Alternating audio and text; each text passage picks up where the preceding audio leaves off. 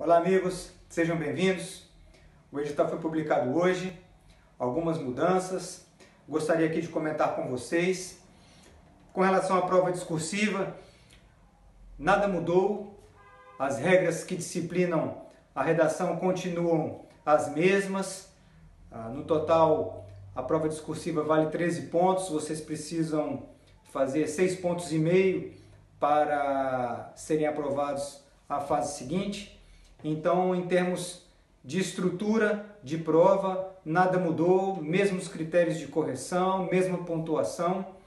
É, temos uma pequena alteração ah, na questão de atualidades que sai da prova objetiva, mas eu acredito que atualidades continua sendo importante porque o tema da redação, eu acredito, é, deve ser um tema relacionado à atualidade brasileira, principalmente vinculada à segurança pública, às atribuições da Polícia Federal. É, isso aconteceu nos últimos concursos da Polícia Federal, o concurso de 2014, o tema foi terrorismo, e eu acredito que novamente teremos ah, temas para as provas discursivas de agente, escrivão e papiloscopista nessa mesma linha.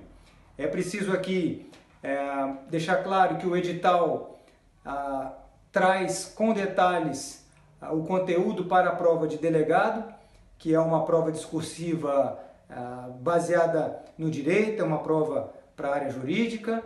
Ah, para os peritos existe uma cobrança de conteúdo voltada para cada área de conhecimento de perito, mas isso não há para os cargos de agente, escrivão e papiloscopista. Então é um tema livre que será escolhido pela banca e eu acredito realmente que será um tema ah, de atualidades. Então devemos continuar aí acompanhando eh, as atualidades no Brasil e no mundo, porque pode ser eh, tema de prova. Ah, hoje, por exemplo, vários assuntos aí que trataremos ao longo da nossa preparação, problemas, por exemplo, como a imigração, é, fluxos migratórios. Vocês podem ver que na legislação específica ah, uma mudança é a inclusão da nova lei de imigração. Então, quem sabe a redação pode ser sobre esse fenômeno migratório ah, na Europa, ah, problema na Síria. Então, eu acredito muito que o tema será um tema abrangente que vai cobrar dos candidatos aos cargos de agente, escrivão e papiloscopista uma capacidade de reflexão, ah, mostrar que acompanham ah, atualidades e que têm condição de redigir um texto claro, coerente, coeso, é, e é isso, é nessa linha que nós vamos continuar nos preparando.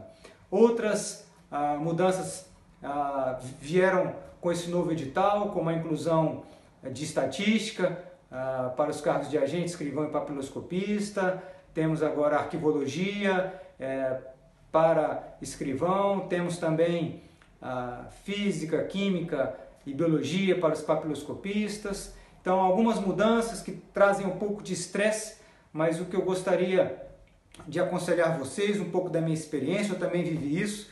O concurso que eu, que eu fui aprovado foi o primeiro concurso que foi cobrado contabilidade administração.